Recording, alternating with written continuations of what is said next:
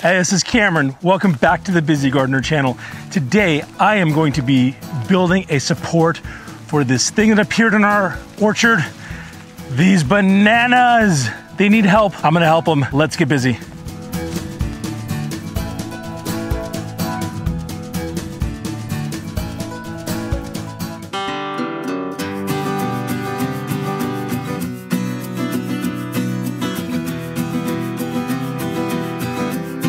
Wow, guys, look at these bananas, how they're growing up here.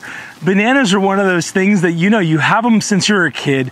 They're not even this exotic thing. Everybody eats them. And yet seeing some grow in my yard is just a very foreign thing. You know, it's, it's very different than the usual go and pick a pear off of a, well, not a pear because you have to let those cool, but you get what I'm saying. Pick an apple or a peach or a nectarine and just take a bite out of it. Um, it's wild to see how this banana plant in just a single year, I think I planted this last year, what was it, last June or last May, like a year ago, already has this banana, this fruiting pod on it. And it's um, really fascinating to learn how these plants work. Kind of a little interesting thing. These things are, this, a banana plant is not a tree. It's a plant that has plant tissue, um, it uses, it has a thing called a pseudo stem, which is essentially just a wrapped bunch of leaves. And those leaves pushed out of the center and emerge. And you can tell uh, that by looking at this little transplant over here, which is doing awesome, by the way. I thought I killed it. It just got a little stressed, but it's doing awesome. It's growing. And so you see how these uh, leaves are coming out of the middle well, something that happens when the plant, the banana plant is developing is it's starting at the base of the plant and forcing its way up through the middle of the, of the tree. I keep calling it a tree up through the plant is this flower spike and it pops out through the top and hangs over the side like this. And that spike, so that spike is connected all the way down the entire plant. And what happens is at first on these type of bananas, these are the female leaves or sorry, flowers that form. Some of those are already got turned brown at the tops, but um, so the, the female flowers are the ones that turn into the fruit and they don't get pollinated. And then what happens is the male flowers emerge after that and those are to form something that goes all the way down and those are not going to fruit. And so this is a very exciting thing to do. Now, something, there's a problem here and you can probably see it if I back up, is that thing is leaning. And look where the banana pod is. I am so concerned that that thing is just gonna fall over and smash my avocado, my Pinkerton avocado, which has been so hard fought, as you know. And so something that people have been suggesting online and something that is very common in commercial groves or orchards or whatever you call banana plantations, I think, is taking and propping that flower up and that fruiting bunch up so that way the plant has the support that it needs. Now, I'm gonna build something like that today. I looked online. it takes a very rudimentary structure to be able to do it. I want something that can be reusable, can be a little bit adjustable, and so something I'm gonna use is two inch PVC pipe. Is it two inch or two and a half inch? Now I'm a little confused. I think it's two inch. And so I'm gonna get started on that. Um, I'm gonna talk through what I'm using, how it's gonna work, and how it's gonna hold it up. All right, let's check it out. Wow, I couldn't, uh, I couldn't help but show you what's going on here with these pomegranates. It's just blowing my mind.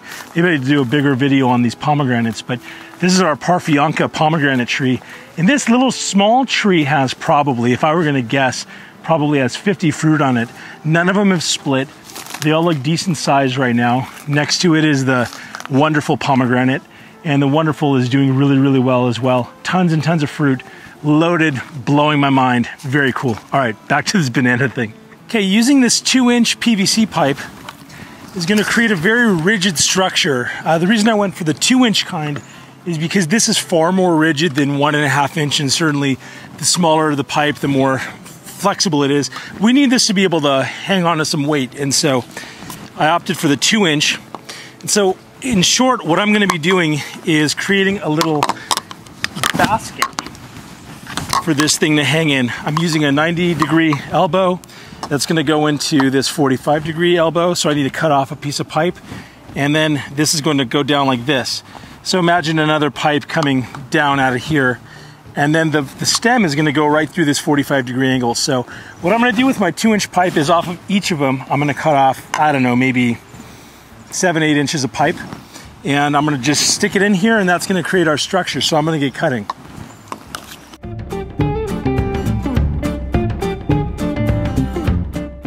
What we're doing here is taking this, angling this in here, angling this like this, angling this like this, angling this like this, and then putting the other pipe in here. And here we go. This is what we're going to use. So that stem's going to go right down the middle here. So now I'm going to put this up against here and see what it looks like as it's holding up the banana. So the first step here is going to be to kind of figure out where it is and so I'm going to line it up and then I'm going to pull this toward it and that's going to start pushing the tree up or the plant up. So I'm not actually trying to prop up the, uh, the, the stem or even these leaves. I really want to get on the other side of these leaves and be propping up the banana stalk itself, the stalk that is holding the, the fruit.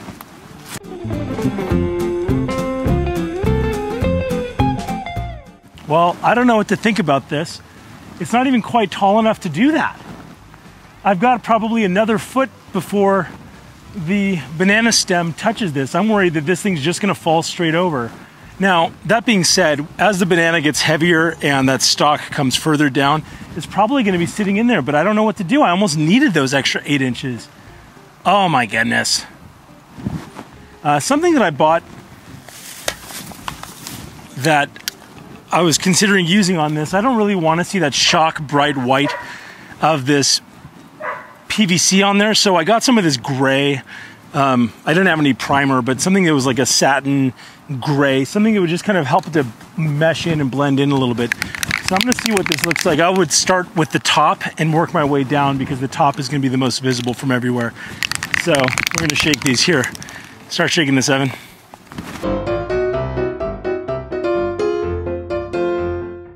Well, so we actually shouldn't be spraying this right now. Look how windy it is. You know, where do you think all the spray is gonna go when we blow it, when we spray it?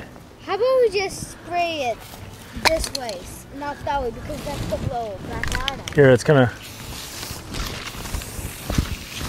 Yeah, that's actually nice. That gray, I don't know if you can see that on there.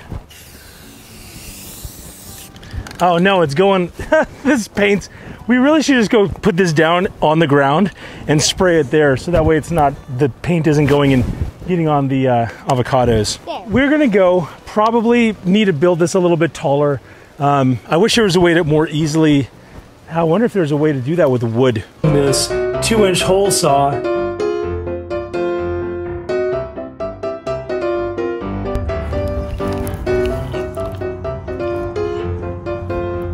Come on, I was using a two and a half inch thing instead of a two and a quarter or two inch. Pay attention, man. All right, well, we're back up here again, finishing off these banana supports. And we were trying to do all sorts of use other stuff. I was trying to use stuff that I had on hand, like I was using this wood and drilling this hole to create kind of a little stand for it. But this was a pain, it wasn't holding. And so I finally buckled and just went out and bought another 10 foot of this two inch pipe. So we're going to uh, that and a couple of couplers. We're going to attach that on and then we're going to get the height that we need. And that'll be good because then I can just keep this um, keep this part not glued in. So if we need any extra height or we need to reduce the height down the road for future ones, we'll be able to do it. so with this, I'm noticing you want to go taller than the actual height because you're going to want it at an angle and because it's a diagonal, it's going to be a longer, um, a longer distance. So if you need it, you know, if the banana is 10 feet tall, you want it maybe 12, 13, whatever, because you can always tip it further down, but you, you don't want it standing straight upright because that's not going to provide a lot of shoring support. All right, let's finish this up.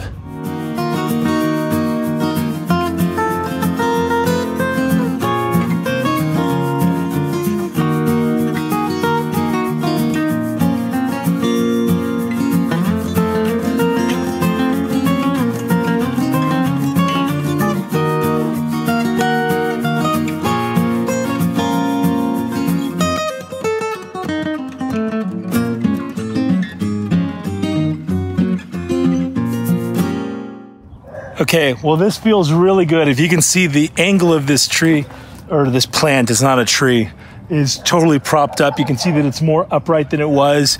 And this is looking really good. I feel really happy about how sturdy this is, how it's holding that banana, uh, the pod, little bunch of bananas up there. As those get heavier, it's gonna be that much more important to keep that weight supported. This episode has been about building this structure up here to keep those that banana plant happy up there, supported. And so, um, yeah, appreciate you tuning into this episode of The Busy Gardener. Hey, if you haven't subscribed to the channel yet, now would be a great time to do that. Hit that button, hit the little notification bell. Evan, you know what happens with the notification bell? It notifies them and lets them know that there's a video coming up that got posted. And hit that like button because that makes me and us feel oh so good. Well, whether you've got one banana growing up in your orchard or 500, until next time, Stay stay busy.